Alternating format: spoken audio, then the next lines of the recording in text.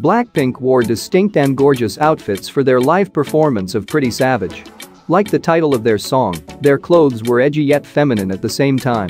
Check out the brands they used and how much they cost. Jennie stunned everyone with her crop top and jeans ensemble. The former came from Pony Stone, while the latter was Vetements' $1,480 censored jeans.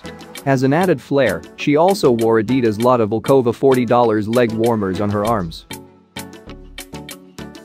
Jisoo, meanwhile, had on a more feminine style in a corset top from Vivienne Westwood. The tall mesh Fargo corset top can be bought for $1,240. Her restyled sweatshirt was much more affordable in comparison.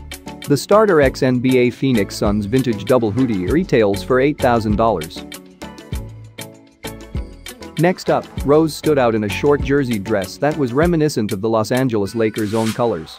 It was a Philipp Plein 24K Gold Edition tank top that is sold for around $1,765. She also had on Maison Margiela's panel platform sneakers that can be bought for $728. And an ambush sports bra that cost $77.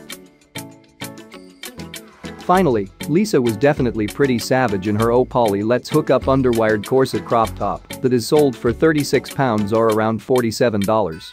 The highlight of her outfit was definitely the Pony Stone Flynn jeans that can be bought for $375. When it comes to fashion, Blackpink can make any outfit look luxurious and expensive,